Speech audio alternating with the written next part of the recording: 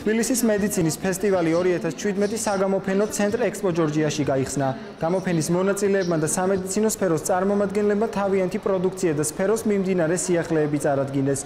გამოფენაზე 12 სხვადასხვა ქვეყნის 60-მდე კომპანია იყო მოწვეული. ღონისძიება სრულად მოიცავდა სამედიცინო დანადგარებისა და აღჭურვილობის, სტომატოლოგიისა და ესთეტიკური მედიცინის სფეროებს. თბილისის მედიცინის ფესტივალი 2017 სამი დღის განმავლობაში გაგრძელდება.